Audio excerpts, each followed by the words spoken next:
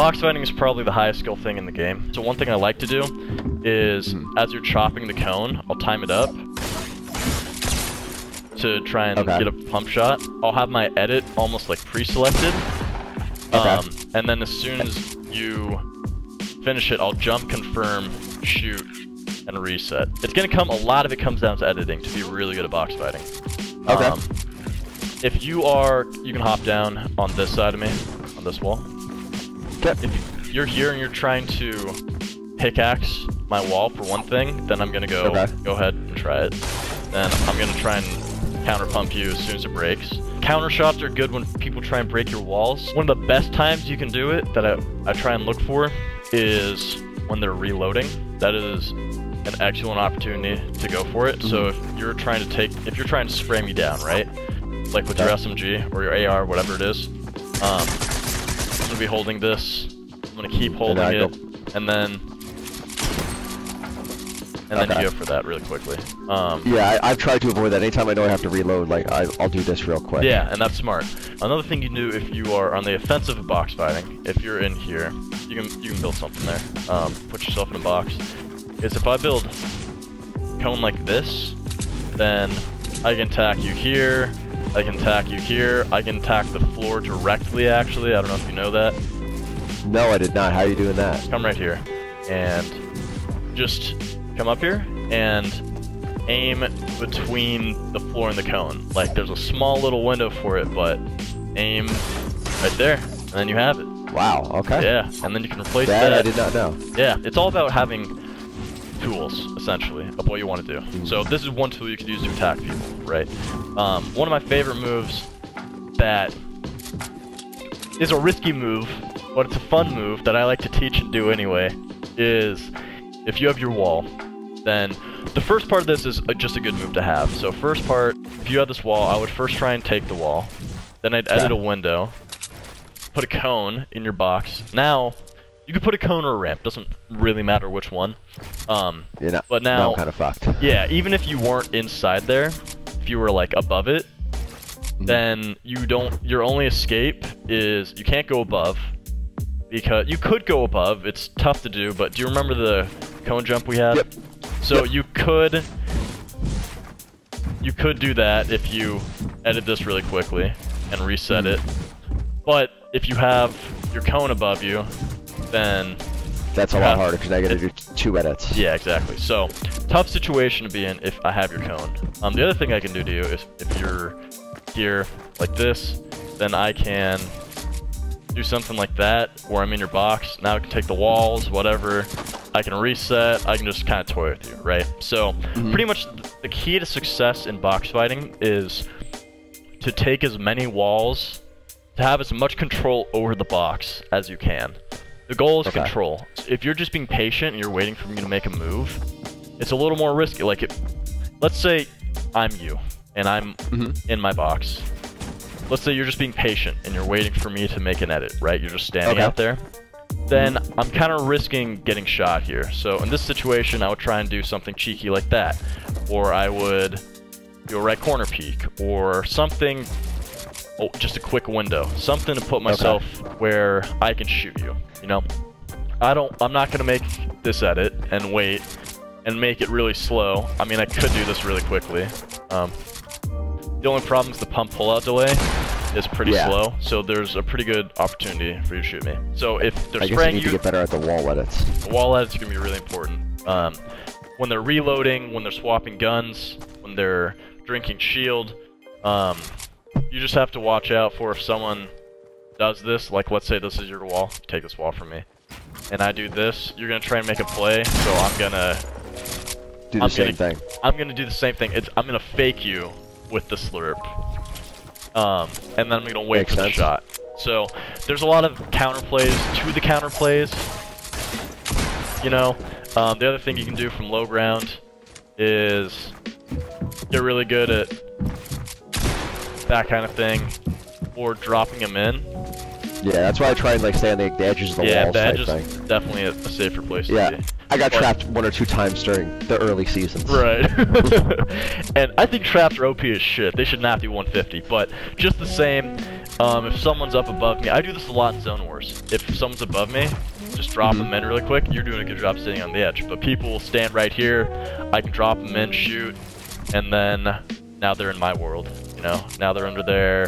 Do whatever you want to them. Yeah, that's the last place I want to be is in someone else's box. Exactly. If you had this wall on me, then I'm gonna get out, and I'm gonna try and Drop down. yeah, Okay. take control. Another way. Um, another play you can use that I I've had people try and do this to me, and because I know it, I can just rip them for it and punch them. But one play you can do is let's say I'm in my box and you're trying to get in, right? So I'm gonna let you try and take this. And then I can trap kill you and That's very ballsy. it's super ballsy. And the only reason it would work is if I don't if the way multiple ways to count this. One is just if you try and did this to me here, I'm in a mm. box. I've all, I've controlled this already, so you can't cannot do this to me. But you'll notice there there are ways to get into someone's box 100% of the time. So put your wall up between us, and if I have wait. Wait, that just What- has what to- just happened? That has to be because of the map. That has to be a like this is the map. Do that to me too. Look at the ground right in front. A little lower, I think. Yep. That's Oh, yeah. Okay, I don't think that's allowed. Um, I don't know. Maybe that's a new meta. Where I could just do that to you. I think I told you this one time, but where you can put cones above them. Do you remember how to do that? No, I do not. Okay, so what you do is you look just above, just above the wall, and then place your Okay. cone. Yep. Ooh. Simple Okay. that. Yeah. So you All can right. you can take peop people's walls over like that. If you see someone do this, where they have they're phasing through it, Mhm. then what they'll do, Yeah.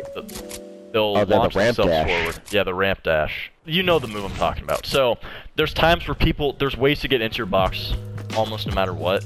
So if someone tries Mm-hmm. that on me and you're high health, let them in. You know, do this to them, um, where you just they're in your box now. You know, then you can hop out and do that to them. But let's say you're low health, you're one shot, and you don't want to allow Mm-hmm. that to happen.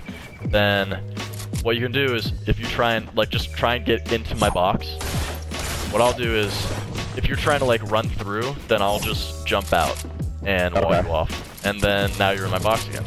But unfortunately, you control the whole box. Exactly. So that's how you would take that situation and take control of it. A couple things I've seen pros do that I have started doing. One is um, I'll put a ramp. If I'm going straight, then I'll place a ramp behind me.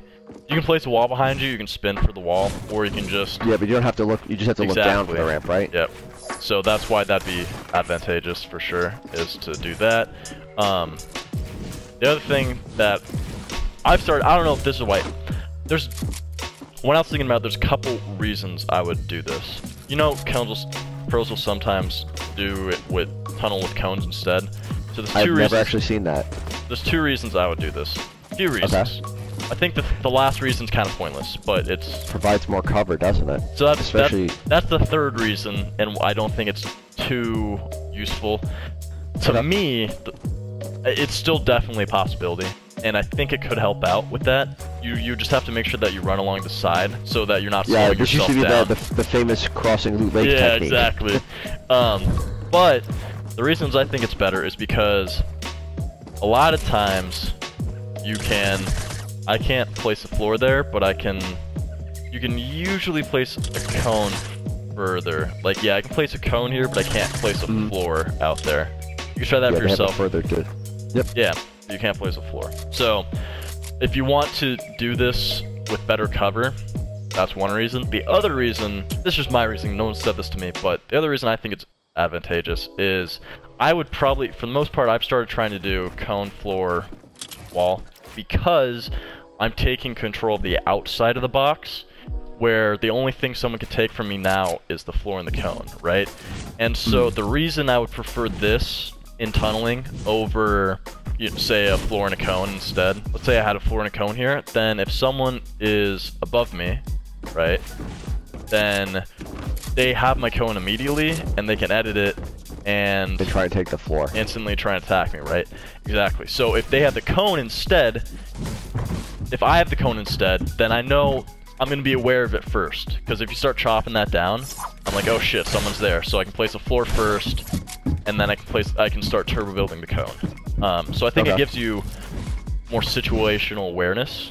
If I want double cones, I would do that for the range of it. I mean, what they could do in this situation is, if I did have the cone here, so worst case scenario is the worst case scenario in having cone floor is that they take control of my floor first, right? Okay. Um, if you, let's say you're above me, take control of my floor real quick. So, Oh, just- yeah, just like that. So now worst, okay, now I know you're there. So you still have to do two, you have to do a few things. One, you have to chop down the cone, and then you have to do cone edit and a floor edit, which gives me enough time to react. You know? Yep, and you're already on your way. and I'm out of the way exactly. So that's why I think good cone. that's why I think um, having a cone on top is usually better. The only thing is if someone has a heavy sniper or is hard Mhm. focusing you, then if they're below me, I'm I, you have to double up every time because if you yeah, don't, you don't want to just get dropped. Exactly, and I've had that happen way too many. So a lot of times, let's say you're on the defensive, right? Few things you should know. Um, I'll give one if they're above you, hop up above me real quick, and take my cone and my floor. So in this situation, I'm pretty fucked, right? Because you have my ceiling. So what I'll do hmm is I'll place a ramp like this, Yeah. and then I'll edit out. So that's just simple thing if they're above you. They nerfed high. I don't know if you remember this, but you used to be able to the way you peeked, you would Yeah, you could peek like with like no head almost at all. Exactly. Yeah. So they nerfed that, so your head's pretty exposed when you do it. So there's not like a massive advantage high versus low ground. The only time I'd say high ground's more advantageous is when you're on a hill, or definitely in end game. So I'll give you some some Mhm. examples. Um, the editing thing is just you're gonna have to work on that. There's no Okay. secrets on that. The only secret I could say is knowing the right edits. If so, if I'm gonna make this bottom edit, a bottom Mhm. triangle, then I do a bad job of this. This is something I've recognized and that I need to improve. If I go top down, I'm looking down at the ground, right? So either Yeah, I've been told you should start bottom and swoop up, yeah, I so if haven't. I haven't really done that as much yet. Most of my edits for walls are from. middle down, right? Because that's where your crosshair usually is. So you can make quicker edits like that. If you're gonna do that, then what I typically do is I don't confirm it till I'm looking at eye level. So Okay. you can either start bottom up, and then you'll be at eye level, or you can just wait until you look back up before you do it. So that's something just with all edits to be aware of. Also, one other thing is to try and right shoulder peek as much as possible. So Yep. this kind of edit, those, making sure you don't do this edit too much because you could just go to your left and you'll be pretty hidden. You could do a door. If someone's waiting for a, a pump shot, right? Like, let's say you're trying to shoot me here. Yeah. Second you see, this is gonna work better against intermediate to poor players, but um, the second you know they see an edit, they might shoot, and then wall's broken, and you can get a shot in. Higher skill way to do it, and the more successful way to do that would be really quickly just um, make a window and then edit it really quickly, reset. Okay. You also, if you're doing it, you want to trust yourself enough to make the edit in time. So I would edit right in front of my face. So you're like, Okay. ah, open. Yes, I'm gonna shoot here for sure.